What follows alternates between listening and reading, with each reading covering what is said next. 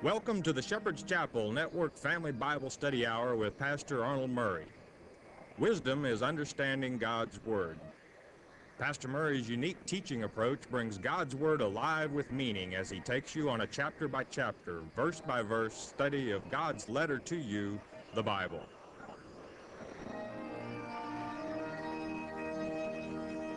And now here is Pastor Arnold Murray. Good day to you. God bless you. Say, welcome to the Shepherd's Chapel. Welcome to this family Bible study hour back in our Father's Word. Book of Matthew, chapter 28. We're going to finish it today. God's gift to us, and truly it is uh, what, what a book it has been to alleviate a lot of the anxieties that you might have about true teachings from Father's Word. Matthew laid it out where anyone can understand.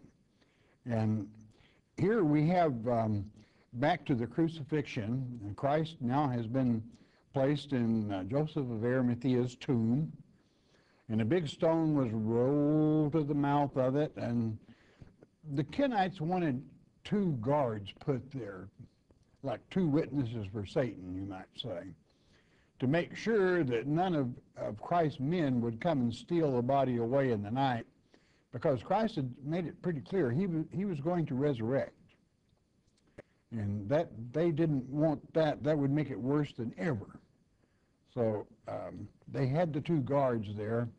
So meanwhile, chapter 28, we go back to that time and we pick it up with verse 1, word of wisdom from our Father, and it reads, In the end of the Sabbath, as it began to dawn toward the first day of the week, came Mary Magdalena and the other Mary to see the sepulchre.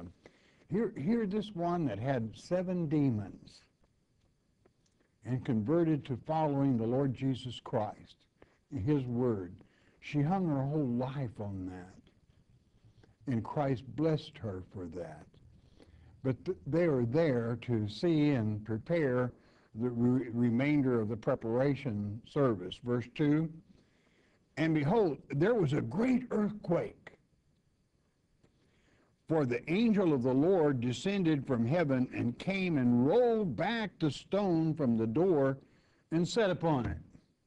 Now, never let anyone tell you otherwise. The angel of the Lord is God himself. It's his angel. It's his in his dimension brought here in person and because of their love for the Lord Jesus Christ, the only begotten, He's, he knew they couldn't roll that stone away. He moves it for them and sits on it. Now, what is this going to do to the two witnesses that Satan has? They're going to freak out, okay? Verse 3 His countenance, his uh, countenance was like lightning, and his raiment white as snow the very presence of God. Verse 4 And for fear of him, the keepers did shake and became as dead men. They passed out cold. There was nothing they could do. The very presence of God put them down. And uh, there was nothing they could say or do, and God would see to it. Verse 5 And the angel answered and said unto the women, Fear not ye, for I know that you seek Jesus, which was crucified. That's who you're looking for. Verse 6 He is not here, for he is risen. As he said, Come and see the place where the Lord lay. He said, Just, just the rocks moved now, and just Come on in. Take, take a look, see here. Verse 7 And go quickly and tell his disciples that he is risen from the dead. And behold, he goeth before you into Galilee. There shall you see him. Lo, I, I want to emphasize, I have told you. Now, wait a minute. This is the angel of the Lord God Almighty. when did the Lord God Almighty tell them he would precede them to Galilee? Well, listen carefully and learn a little of the Trinity. It happened back in verse 32 of chapter 26. Um, then, and I'll start with verse 31.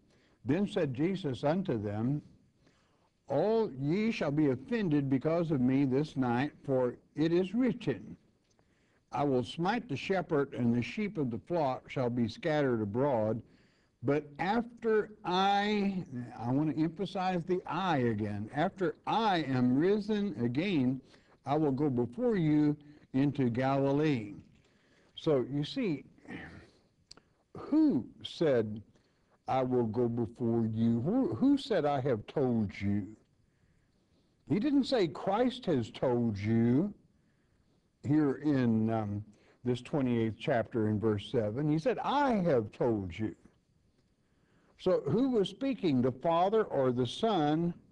Or, correct answer, they are the same. They are one and the same. So you have to take a little deeper look after the resurrection.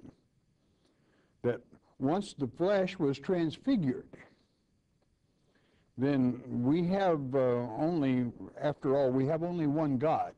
I know this may throw some off, but I want to tickle your your nervous system just a little bit to cause you to think. Because clues like this are only laid out for those that have wisdom to understand our Father's Word. Then you can better understand John chapter 14, where Christ would say, If you've seen me, you've seen the Father. Well, if you've seen the Son, you've seen the Father. What does that mean? They're the same different dispensa- di- different dimensions, of course. but um, so it is. Don't don't let that throw you off or anything. And if you don't quite understand it, put it on the shelf and let it sit there, because the angel of the Lord has told them. Uh, you were told before, he's risen, and he's going into Galilee. That shouldn't be any mystery to you.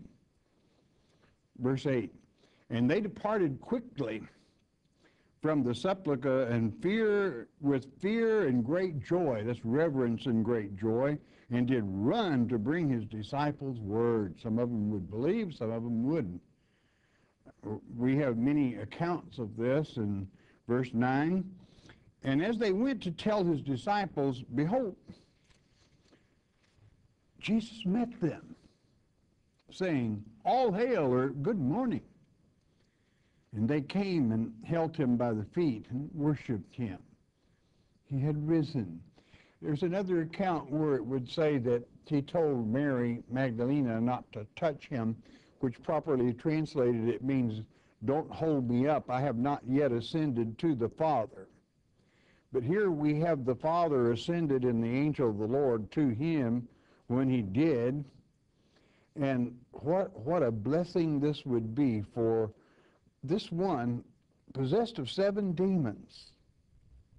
Yet she lived to witness this with her own eyes, her own soul, that Christ would be so kind to her, would be so patient with her. But he did not tell her, do not touch me. He said, don't hold me up. I've got to go in another book. And many people think that was a little rude. It wasn't. It was properly translated. It's very kind and, um, and concerning. Verse 10, what did he say? And then Jesus said unto them, Be not afraid. Go tell my brethren that they go into Galilee, and there shall they see me. And again, this was, this was reported throughout the word, throughout the gospel. They should have immediately gone there.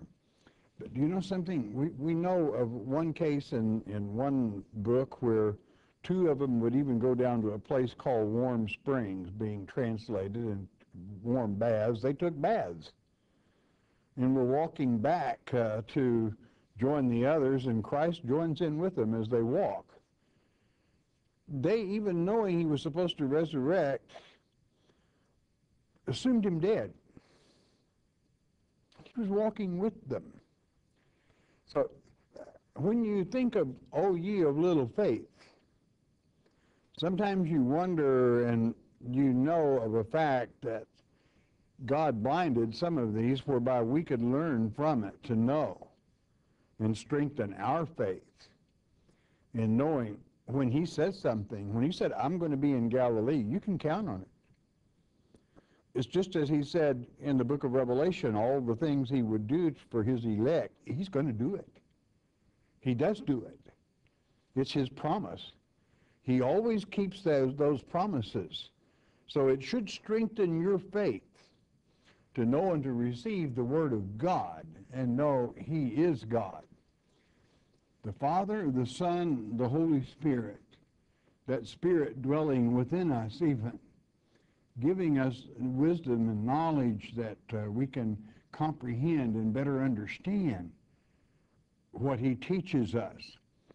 For what He teaches us is a roadmap, a roadmap to eternity. You want to stay on the right road. You don't want any detours, and you want to listen to Him. He will never deceive you. He will never misguide you. He will never leave you. He will never forsake you. That's His promise. He always, I do mean always, keeps His word. Verse 11 to continue on. Now, when they were going, behold, some of the watch came into the city and showed unto the chief priests all the things that were done. We were out there and it came a great earthquake, and I mean to tell you, there was one showed up like lightning and rolled that stone away. And we freaked out. We passed out. It was something miraculous. Verse 12. They're passed out. They don't know a whole lot, okay? 12. And when they were assembled with the elders and had taken counsel, they gave large money into the soldiers. Why would they why would they give these two they they passed out on watch. It's quiet money. They don't want them to tell what happens. They don't want them to tell about that earthquake that rolled the stone away. They don't want to tell them him they to tell them of the miraculous appearance. They give them a lot of money. And what would you take to keep quiet? You cannot be bought if you're a true Christian. You're going to hold to the truth, nothing but the truth. Verse 13. This is what they would say, saying, Say ye his disciples came by night and stole him away while we slept. You went to sleep on the watch and they came and they sn- snuck him out right under your faces. Well, and verse 14, and if this come to the governor's ears, if the governor hears about it, the Romans, we will persuade him and secure you. We'll bail you out. Doesn't matter what it is or anything we will bail you out. You'll be safe. Just be sure and tell this lie. Liars come real cheap, it would seem, in lifetimes. They, whether it be in religion and or people that would try to deceive, and certainly uh, it's been that way ever since Sodom and Gomorrah. That people lie and lie and say, it's all right. Everything is fine. Just do what you want. That's not God's way. And do you think it, with blood money and blood to lie, you, uh, money to lie, do you think this protected their souls? They're due to hell. They sold their own souls. What would you take for your soul? There, this is a time that Christians must take God's word very serious. Don't think he isn't watching. He is. This same angel of the Lord knows what's going on. He watches very carefully. And just as he, you know, Sodom and Gomorrah, that sort of perversion will bring him down. He will thump gourds. He will shake nations. You can count on it. But the beauty of being a Christian, when you repel such things, you're you have you are inoculated with God's truth and wisdom whereby they have it must go around you. They cannot touch you. Why? because you're one of God's elect. So uh, blood money won't cut it. It did in this place for who? The wicked. Let's go with another verse, please. Verse 15. So they took the money and did as they were taught. And this saying is commonly reported among the Jews unto this day. Now, don't try to lay that trip on our brother Judah, true Judah. This is the Kenites. They're the ones that brought this to pass and blamed it on our brother Judah. But uh, it, they are as guilty as sin. And certainly uh, to uh, continue the lie, there have even been books written on this subject. One, one of the greatest from many years ago, I, I don't even want to say the name of it because I don't want to call attention to it. It's a, just flat out lies from beginning to end. Uh, about how the disciples stole the body away. He was drugged, and it would seem druggies can come up with a lot of weird things of the mind that deceive and harm people. But uh, so it is that uh, they they brought this to pass, and you know something. There is a certain type of people that if a higher echelon says it, it's got to be so. I heard them say it. Well, they'll lie to you, friend. Your heavenly Father won't. God will not lie to you. And I promise you one thing, it will always come to pass as it's written. Man will sell you a bunch of malarkey, and it will never usually turn out. If, it, if it's contrary to God's word, it's going to fail. I, I promise you, if it is contrary to God's word, if it pushes things other than God's word, such as Sodom and Gomorrah did, I promise you it will fail. It, it, is, it has failure marked over it coming out the gate. So always stay with your Father and be blessed. For when you are blessed, you're blessed indeed. So always be prepared. There's, there are, well, these were government people. I didn't know the government would lie. Oh, you didn't? Well, the government here did. And I mean lied big time. Well, how do I know what to believe? It's real simple. Read God's Word. He's still sitting on the throne. He's still very much in control. It's always, I do mean always, going to happen as it is written. You can count on it. Verse 16 to continue. Then the eleven disciples went away into Galilee, finally getting it together here into a mountain where Jesus had appointed them. That's back to 2632. He told them, You go there, I'll be there. He always keeps his word. Believe that. Accept it. Verse 17. And when they saw him, they worshiped him, but some doubted. Can, can you believe that? Some doubted.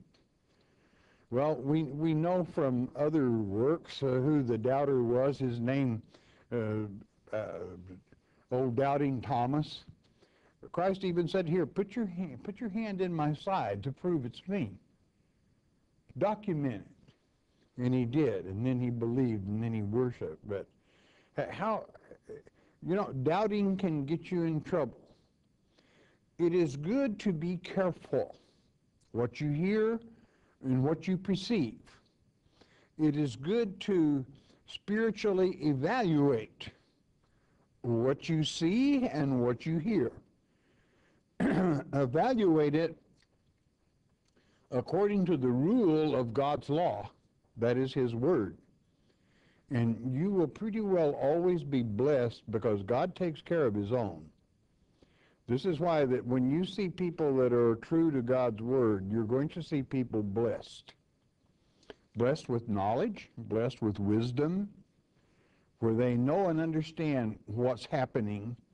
They know the chronological order of events, and they know how those events are going to fall, even especially in this end generation, which this very book of Matthew has, has uh, prepared us for that. We'll say a few words on that in a moment. Um, let's go with the next verse. They doubted but worshiped, some of them, 18.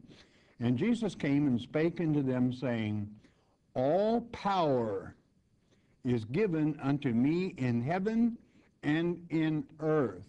Now, do not read over that. All power. Think back when he said, I have told you, but it was the angel of the Lord. But then it was the Lord himself. I have told you. All power, not, not just here on earth, but in heaven also, is given unto him. And therefore, I, I would, uh, if you really want to pick a bad party, pick some party other than him because all power is his. No one else has any. Satan can take you right to a pit. There's another power out there, but it's a loser. It's a loser all the way. It's filled with perversion and things that go against God's word, things that mislead people. You, you can pick that way. It, it's you know you've got free will. It's your choice. But um, all power, every bit of it, not only on earth but in heaven also, rests in His hands. So don't let anyone cover those outreach saving arm hands from you because that's where the power lies. And that's why you can take it very, very serious in Luke chapter 10 when he gives you power over all of your enemies. Because all power rests in his hands. And you're one of his followers. You're one of his elect. You have to do things, and when he is in all power, he can give you the ability to accomplish those things. Though it may be a troubled world and the world may be a shaky place. If you're truly serving the living God, the power's in his hand. He will give you the ability to do exactly what he wishes you to do. And so it is. So when you look to where the power lies, that's your answer. He's it. The whole universe which he created for his pleasure, all power reverts to his hands until his enemy is made his footstool. And God's elect here on earth will see that they go under his feet because they serve the living God. Verse 19, what is his instruction? Go ye therefore and teach. Do what now? Teach. Well, what do you teach? God's word, of course. You can, and what is this? All nations. That's that's all ethnos. That doesn't mean just the house of Israel. It means teach everyone that all power is in his hand, both in heaven and earth, baptizing them in the name of the Father and of the Son and of the Holy Ghost, the Holy Spirit, better translated. Now, then, what does that mean? Now, what does that mean? Well, I, I was only baptized in Jesus' name. My church only baptizes in Jesus' name. Well, what, what does Jesus' name mean? It's Yeshua. And what does Yeshua mean? It means Yahweh's Savior, which is the Son, and where those two are, always the Holy Spirit is there. It's the same. Okay. Now, what about baptize? What, what does this word stem from? The etymology of it comes from, so that you understand, it comes from the makeup of, let's say that you have a piece of white linen and you want to dye it red. So you take the crimson dye, and what do you do with the white cloth if you want it to become red? You submerge it. That's what baptism means, to totally submerge. Otherwise, if you wanted it solid red, all you'd have is a bunch of dots if you just poured a little water on it. Okay, you wouldn't you wouldn't be getting you wouldn't be fulfilling God's order. Teach. And baptize. Baptism, Christ was baptized. He, he cuts the wake to show us what he would have us do, and certainly you are to follow that example. And, um, and certainly uh, teaching is a, is a honorable thing. Many might say, well, I, I don't think I could ever be a teacher. Your, your life teaches. The way you live your life makes you a teacher. If you live your life serving God and you're blessed, you're a walking sign board for Almighty God. That signboard written all over you is you're a child of God, blessed of God. That's why you're successful. That's why, and, and does that mean, well, no troubles are going to come my way? No, it doesn't mean that at all. God doesn't necessarily deal with hothouse lilies. He, he's got people that can cut it, that know how to handle the tough stuff. They've done tough, they know how to do tougher. But they do it with his help, and they're always successful in it. And, and so it is that uh, you, in, that, that is a form of teaching, is simply living the life. Others see and are drawn to that. They want some of that. They want that warm feeling that you have when the Spirit is in you and blesses you, loves you, guides you, leads you. And, and um, that, that is one of the greatest forms of teaching. Verse 20 to complete this chapter. Teaching them to observe all things whatsoever I have commanded you. Now, what is that we teach them? Part of it, no, all things um, whatsoever I have commanded you, and lo, I am with you always, even unto the end of the world. Amen. And so he is. So he is. Many people are spiritually blind, not physically blind, but many people are spiritually blind.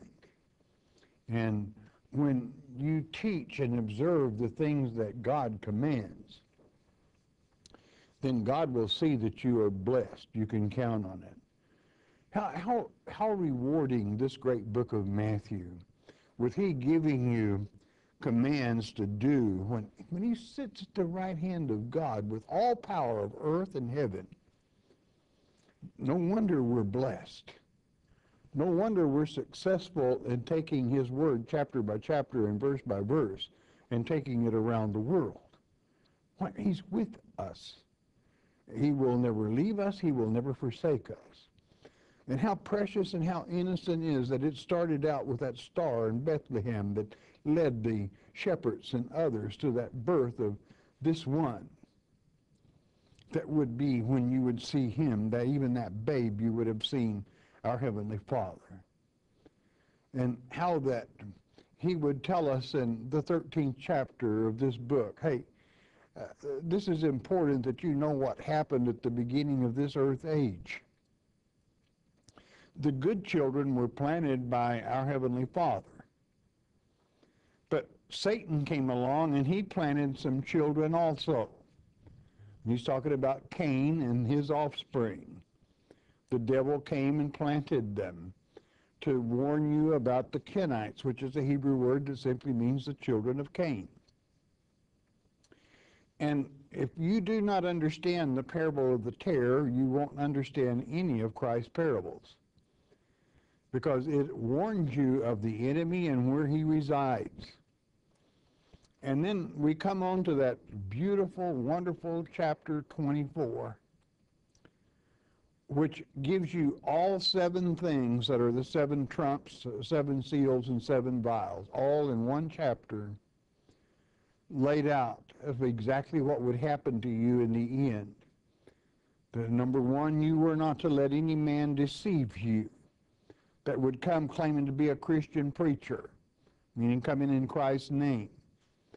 That you're going, you're not going to fly away, you're going to be delivered up before the synagogue of Satan, and you're not to even premeditate what you will say, but God will speak through you, the Holy Spirit will.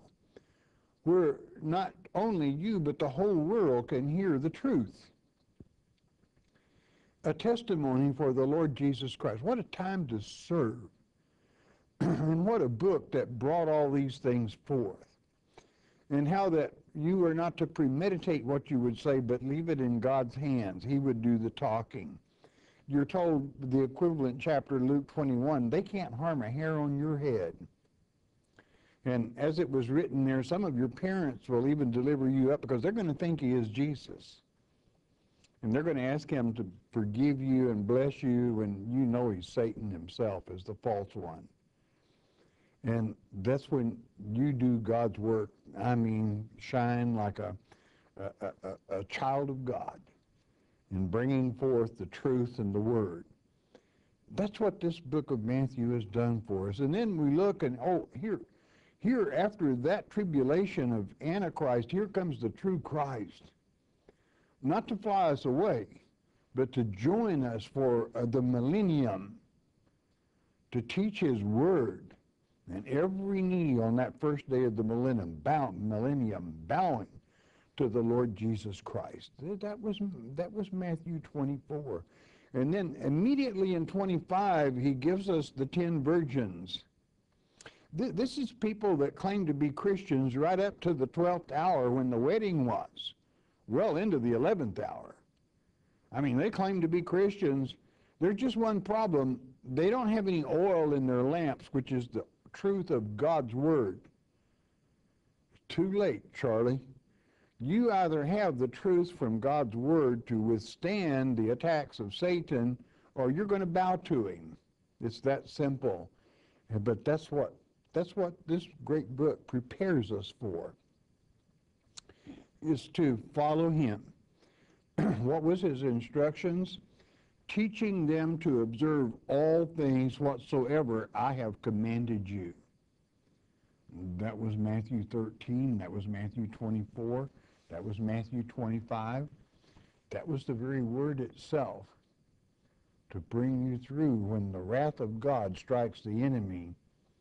It's, he's not angry at you you shine like a, a flower of God. That's what true teaching is, is teaching the Word of God.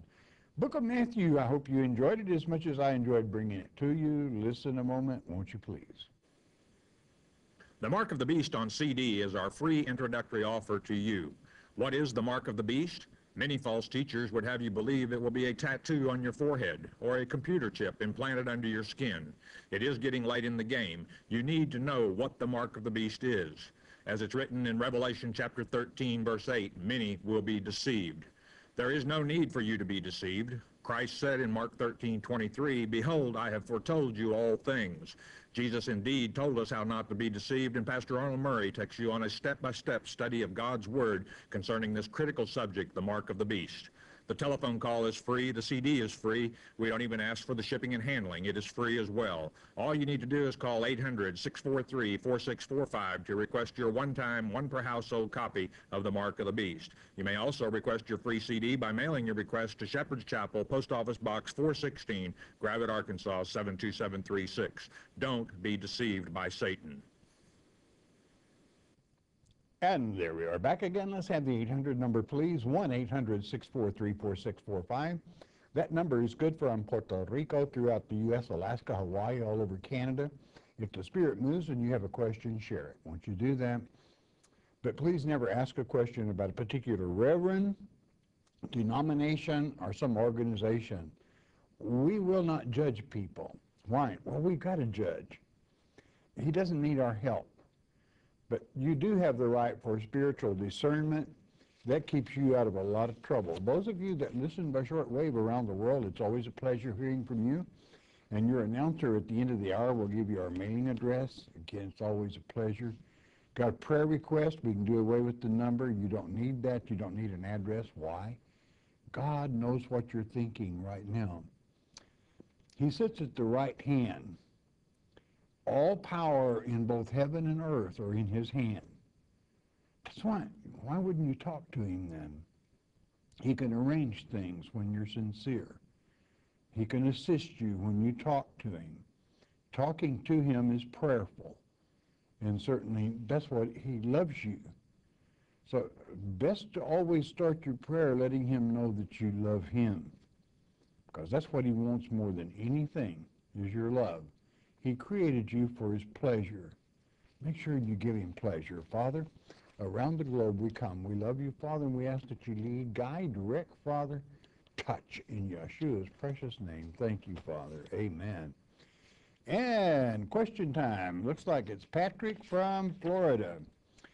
Pastor, is it biblical that only 144,000 get to heaven? Please give me scripture. Well, you're, you're quoting from uh, Revelation chapter 7, where it, it gives you the the 144,000. But then when you read on in chapter thir- verses 13 and 14, who are all, who's this multitude that have washed their robes in the blood of the Lamb? There, uh, you can't count them. They were set free because they love the Lord Jesus Christ, and they're there. No, those are the only ones that God uses to teach and further the word. Susan from Idaho. I have to evict a family. I tried to evict them once the, they know how to play the game and they won't even answer the door. It hurts my heart to do this, but there is nothing I have not tried to help. But they are taking advantage of me. Why should I, what should I do biblically? They won't pay the rent and it is starting to cost me. Well, it, it is your livelihood. You know, um, this is why we have God's law. And this is why we read in Romans chapter 13 that we obey the law so the law can, will back us up. So um, what you need to do is you need to go down to the sheriff's department and let them know what your grief is, what your problem is. They are there to serve you, not to harm you, not to do anything negative against you, but to serve you. And therefore, what is right is right, and what is wrong is wrong. And uh, it, it, would seem, um, Susan, that you need some help. Compassion is a beautiful thing, but you can't lose your property over it. Uh, and if people are taking advantage of you, that's not right. They're not good people, or they would not take advantage of you. Every, some people fall on hard times, but they need to work it out with you. If they won't even open the door, you can't work with them, so it's time for you to take the next step. Talk to your local sheriff. John, John from Arizona, please explain why you don't believe in the rapture, because it doesn't exist. God doesn't believe in the rapture. As a matter of fact, in Ezekiel 13, verse 20, he says, I'm against those that teach my children to fly to save their souls. They cover every knuckle of my outreach saving arms. Um, so uh, the word rapture is not in the Word of God. What, what it says in 1 Thessalonians chapter 4, where most people are misun- take it wrong, it says, you have to always pick up the subject and the object. God doesn't stick tricky things in. You, you can, if you understand literature, you read it and let it flow. God's word is simple. And all it says in that chapter is, if you believe Christ rose from the dead, well, I hope you do or you're not a Christian, then you better believe all those that are asleep or dead in him have risen also. They're not out here in a hole in the ground they're already gone. They're not, they're not raptured, as you would say. They have simply, as Christ resurrected, they have risen. They're with him. And then he says, at the last trump, that's the seventh one, the Antichrist comes at the sixth one. What you want to be worried about is what are you going to do at the sixth trump? Because the true, true Christ doesn't return until the seventh. The child can count from one to seven understanding the chronological order of events. So, uh, because Satan's main message will be, I've come to fly you away. That's the reason I do not believe the rapture, because it is a fixture placed by man and in the year of our Lord 1832, a false teaching that has spread because it's easy. You don't have to study God's word. You're going to be gone. That's a lie. You're not. God expects his troopers to stand and uh, keep the word of God present. okay, Brenda from New York. Oh, my husband has severe nerve damage, okay, and his legs were paralyzed. Uh, our problem is he is committed to God and he takes every word from him as you read it completely to heart and he is questioning whether God would approve of this mechanical device inside his body. He has started to not use it. Well, um, um, Brad, Luke was a physical, was a surgeon. Luke was a medical doctor. God gives our doctors intelligence, especially Christian doctors. And he gives us minds that we're able to alleviate pain. And he, he expects us to use that to our advantage. He doesn't want us to suffer. So um, it, I, I thank, thank you for studying God's Word and listening, but God does not want his children to suffer. And when you have this device, use it if it alleviates that pain and because these Christian doctors, and there, there are a lot of Christian doctors, don't ever kid yourself. Uh, I, I know that for a fact because of uh, our, uh, who studies with us and so forth, and, and even people, uh, I just know there's a lot of Christian doctors out there. I'm not going to drop any names. Lisa from Michigan, do you believe that we are or about at the fifth trump? We're in the fifth trump. The fifth trump is a time of learning. Learning what? Learning who the Antichrist is. We're given his name in both the Greek and the Hebrew so that you can't miss. And his name is Satan, the destroyer. You, we, we learn that in Revelation chapter 9. And also, that's the chapter where God shortens the three and a half years to a five month period whereby we know we can cut it. We're children of God. We'll come through just fine. Joanne from Georgia, why, why do mothers betray their daughters to the Antichrist? And you're thinking about Matthew 24 and Mark 13, where it's stated there that when the Antichrist comes, mothers will betray daughters and the father the son because they think he's Jesus. And they're good Christian people are claimed to be. And they truly believe, they believe the rapture story, and they think it is Christ come to fly us out of here. And naturally, loving their daughter, they want him to save her because she's a good girl. The mama knows that. It's just that the girl has read God's word and knows the false Christ comes first. And she's not buying it. But mama wanting to save her little girl will tell the Antichrist that she's a good person. Forgive her. And he's going to say, bring her on in and let's talk to her. And of course, that's our destiny. That's our time. That's the hour of temptation, only we don't find him tempting, but a lot of people will. That's when God will speak through that daughter and the Holy Spirit, will, his word will go out. It's written in Luke 21 that even the gainsayers will be convinced by what God's children say when they're delivered up that way. It's a destiny and a purpose. So the mother ultimately will be very proud of that daughter because that daughter during the millennium will be in a position that she can help that mother get her act together. Bill from Oklahoma, what are the two Bible scriptures that confuse people most about the rapture? Well, I think I just used them I think I, I, I just, uh, it, it's First Thessalonians chapter 4. It really confuses people. Any moment doctrine. All they would have to do is read on into Second Thessalonians chapter 2, and Paul said, hey, don't let my first letter mess you up. I want to talk to you about our gathering back to Christ. It will not happen until after the son of perdition, that Satan stands in the holy place claiming to be God.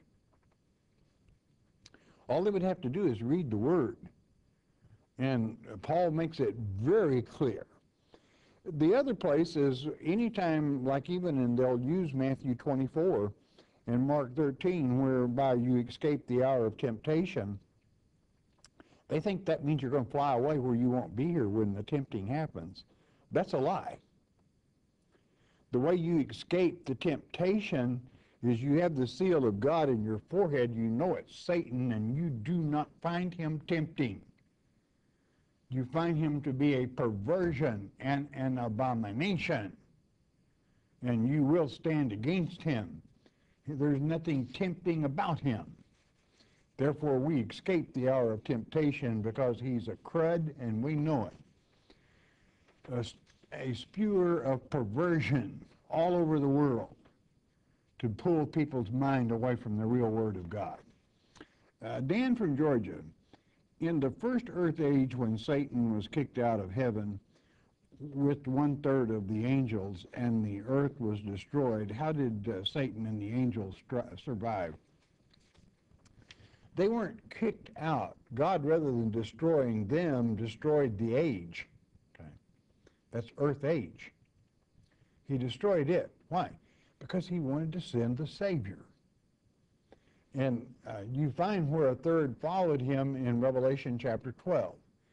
But then God uh, destroyed that first earth age as, as uh, 2 Peter chapter 3 so stipulates and brought in this earth age, the age of salvation,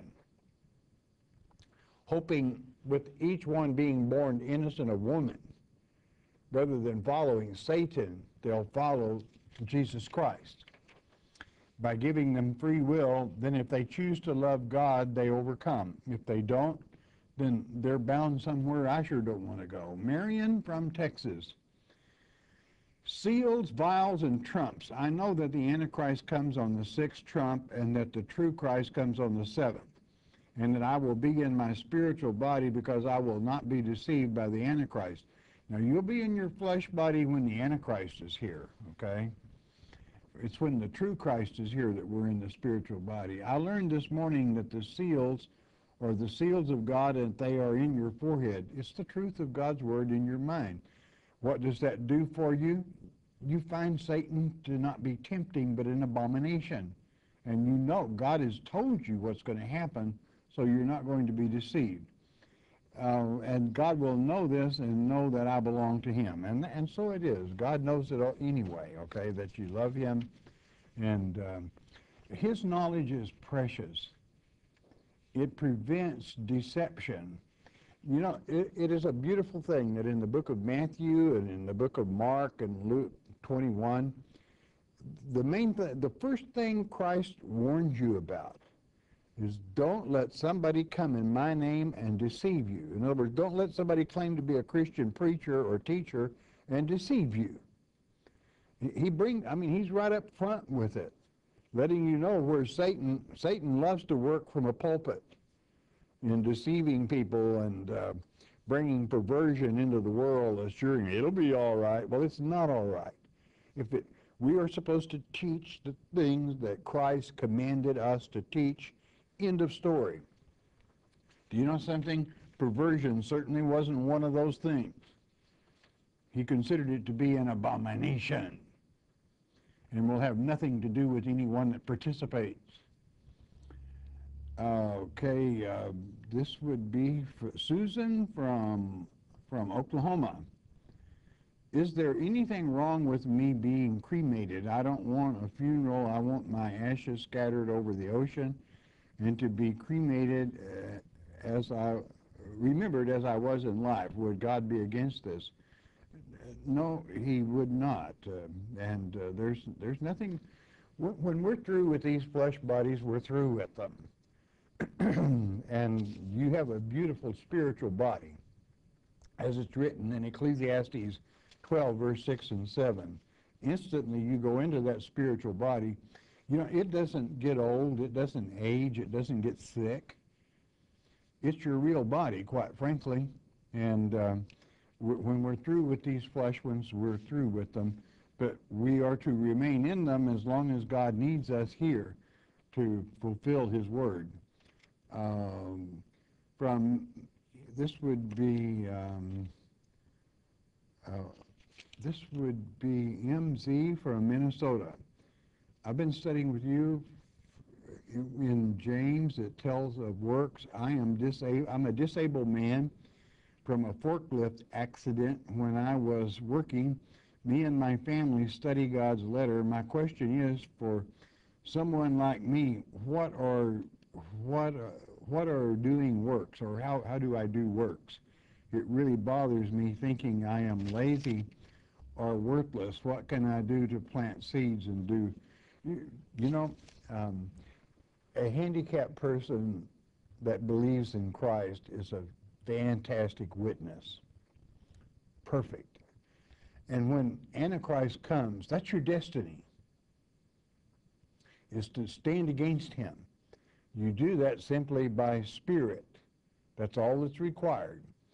And where you're studying and bringing your family into it, you're taking care of your family. It, it is a man that will not cause his family to study, that will not support them, that is worse than an infidel. You are handicapped, and God's children of Israel are always to take care of the handicapped, and that's why we have laws that do exactly that. It certainly does not mean you are lazy and uh, or any part of it. You have a strong witness because it impresses people able-bodied when they see the faith in someone that is handicapped. You, you hang tough. You're doing real good. I'm proud of you. God's proud of you. Uh, Wanda from Virginia. My question is, why do I have to be 73 years old to learn the truth? Seems like a great waste to me. Well, thank God you have it, though, now. That's great. I, I love the Lord and am sending, okay, thank you. I am concerned about church folks today. Keep up the great work. We're going to, and they're going to be fine. It, it does. It is sad that more of God's word is not taught in churches today because we're in that generation of the fig tree when certainly of all times it's needed that people should be in the Word of God, chapter by chapter and verse by verse. The, the real saddest part is this, that when membership begins to fade and people seem to lose interest, do, do you understand what's wrong? They're not teaching God's Word. If you teach God's Word chapter by chapter and verse by verse, you cannot take care of the, of the congregation. It grows and grows. That's why we have our Father. He takes care of it. That's why we call this church Shepherd's Chapel, because the shepherd, Jesus Christ, he's over this church. He's the only one that can handle it because it goes around the world. And it is a fantastic thing that he does in bringing people to the truth, and we thank him for that. It's not man that does it, not this man or any other man. It's our Heavenly Father. He is so good to us. We can love him and appreciate that. Warren from Montana. Question, were, were the Lord's creations during the first earth age created with free will? Yes. Everything with him is free will because why? He wants them to love him and it to be true love. Otherwise, if he creates somebody that has no feeling or emotion, then that's not real love, and he won't have anything to do with that. He wants the real thing. Question, kindly explain, what is the difference between being begotten and being created? Well, begotten means you're born to woman of the water, and to be created is to be created by God, and the creations took place in the first earth age. Um, other than the beginning of the flesh, they were created, formed. Uh, Mr. Waters, can a man and a wife baptize each other? And what is the words you say before you dunk them under the water, before you submerge them? All right, you, you read it today in the next to the last verse of, um, of the great book of Matthew. Go forth and baptize in the name of the Lord Jesus Christ. And if, if you are a student of mine, if you want to go the next step further, baptize in the name of Yahweh, our Heavenly Father, Yeshua, the Son, and the Holy Ruach, uh, our, that Holy Spirit. You can baptize each, uh, any Christian can baptize another Christian. Now, I warn you, not all churches will accept that as a, as a legitimate baptism, but God will. Okay, Uh, that's that's what's important. Christ will accept it. So, best to you. You can again you read uh, the last two verses in the great book of Matthew. Billy from Oklahoma. Um, thank you for watching.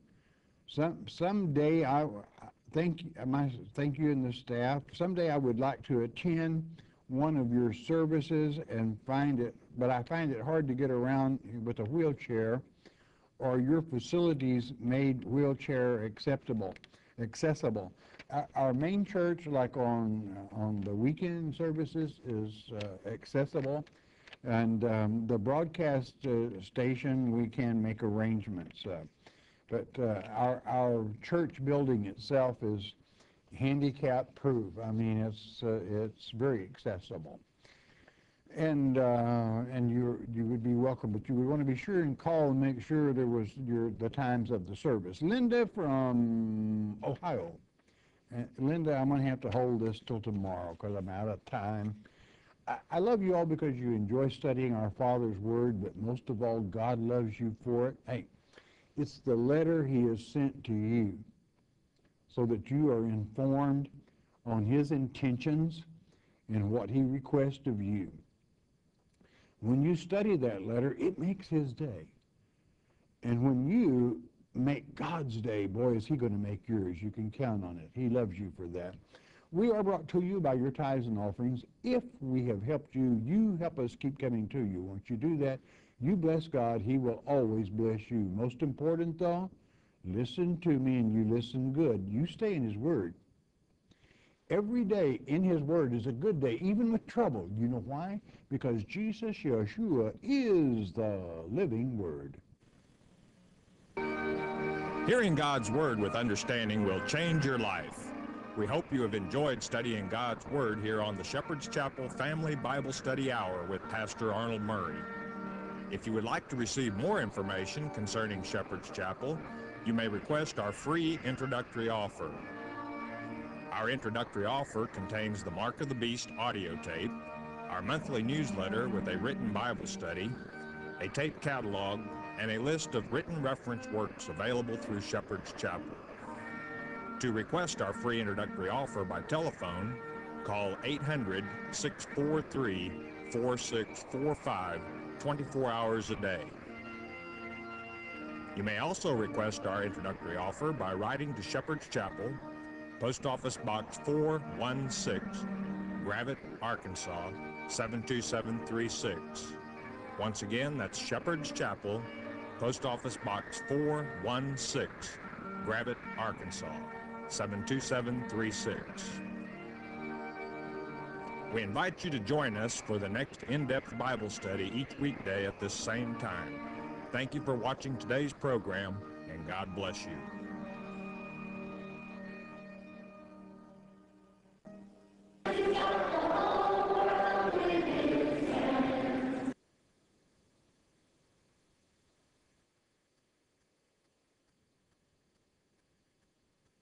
Of Eli and Samuel, the last two judges of Israel, sinned against the Lord greatly.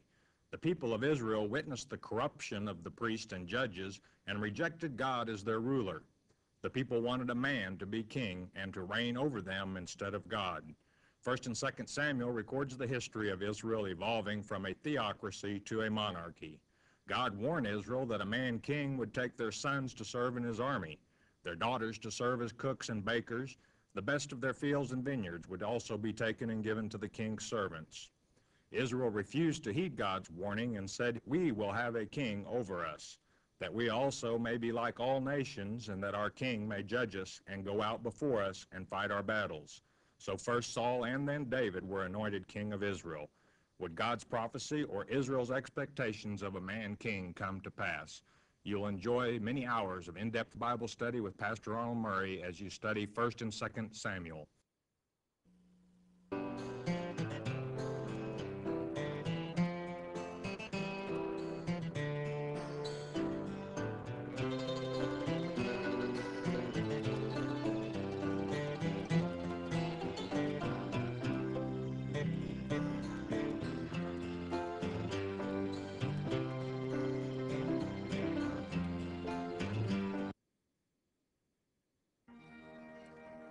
Welcome to the Shepherd's Chapel Network Family Bible Study Hour with Pastor Arnold Murray.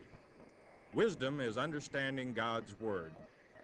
Pastor Murray's unique teaching approach brings God's Word alive with meaning as he takes you on a chapter by chapter, verse by verse study of God's letter to you, the Bible.